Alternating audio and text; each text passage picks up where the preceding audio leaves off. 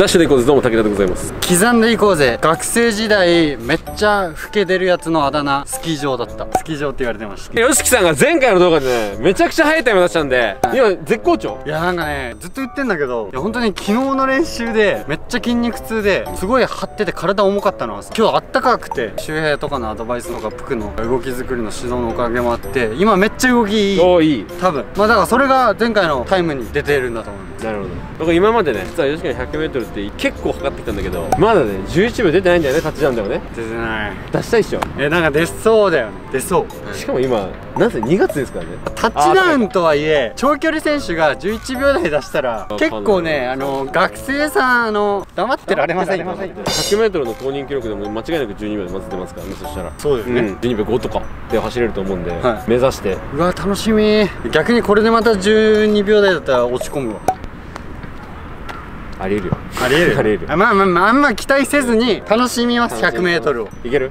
いきます。よっしゃ行きましょう。もう早速やっていきましょう。はい。ダッシュで行こうぜ。あいける。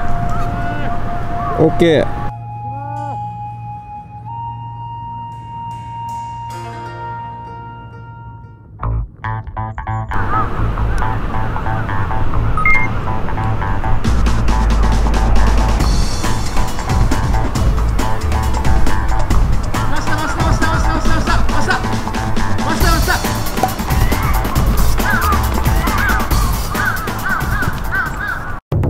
ッケーダッシュで行こうぜ。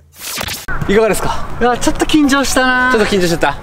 できんだ？そうまあ力まないつもりで走ったけど。いつもの100より力まなかったとは思う、ちょっと中盤の動き見れなかったんで、はい。横から。ちょっと何とも言えないんですけれども。ああ頼む。まあ総じては。まとまったんじゃないでしょうか？そうですね。はい。タイム！はい。100m タッチダウン！はい。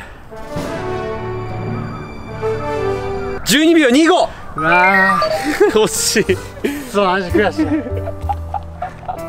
25です。いや悔しい。もう一回言ってもダメかな。出ないかな？出ないか。出ないって断言はできないけどまあ出ても1位前半とかじゃねそうだよね、えくっそ。いや悔しい。めっちゃ悔しいマジで。ー、おいいっすね。悔しい。やっぱね短距離ね面白い。面白い。面白い。0.1秒をこう削る感じ。長距離にはないねこの楽しさ。最後にじゃあクロノインクス褒めてもらって。いやあのねでも本当にクロノインクスのこの反発というかうん。プレートの良さ、まあフラットじゃないとかいろいろあると思うんですけど僕はクロノインクスすごい合ってると思ってて、うん。自分の走りに、まあ、それがマッチしたんで、まあ、100m もタッチダウンで僕12秒5とか12秒4とか。なんでまあ12秒2も全然悪くないしこの間のタッチダウン障害ベストも12秒1だったんで、まあ、全然2月ですよまだ今シーズンン11秒出そうだね。今シーズンでちょっと出出す。わそう出しましょう。出します。出します。冬季の TT まあ今回残念ながら達成なりませんでしたけどじゃあまたチャレンジするということで。1年に1回ぐらいあるからね。そうだね。そうありがとうございましいやお疲れ様でした。ためちゃめちゃ楽しかった。本当に。足が速くなりたいよっていう人はチャンネル登録高評価よろしくお願いします。それではまた次回の動画でお会いしましょう。バイバイ。